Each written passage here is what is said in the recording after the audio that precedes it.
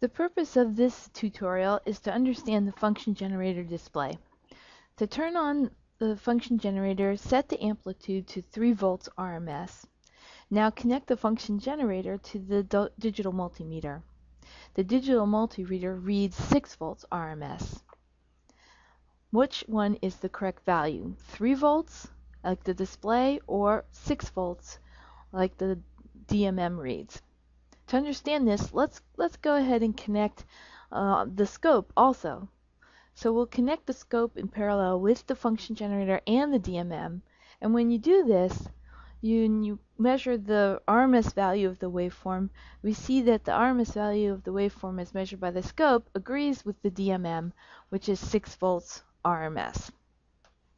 To understand why the display is 3 volts but the signal is actually 6 volts RMS, we have to understand in more detail how the function generator works.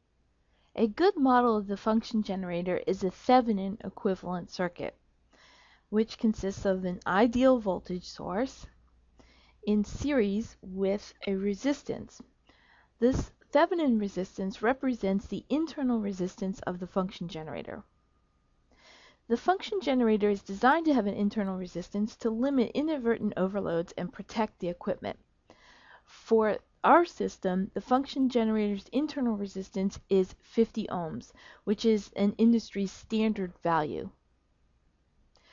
Since the function generator is not an ideal source, the output will depend on the load that is connected to the output. Let's look at a couple of cases. In this first case, let's assume the output is an open circuit. Since there's no current going into that circuit, the output voltage, VFG, would just be equal to the Thevenin voltage, VTH.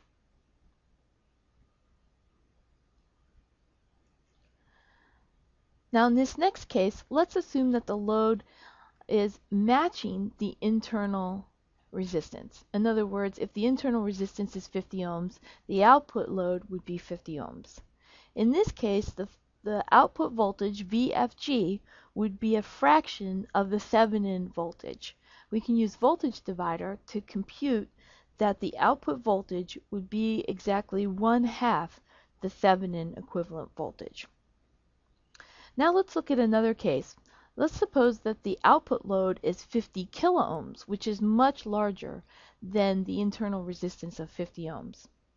Again, we can use voltage divider to determine the value of the output voltage in this case. And since 50 kiloohms is so much bigger than the internal resistance of 50 ohms, that means that the output voltage is approximately equal to the Thevenin in electronics, we typically build circuits with high values of impedance, so we are working in a high Z mode.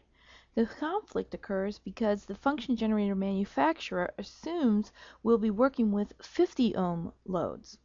So the default mode of the function generator is to display the output voltage if a 50 ohm load is connected.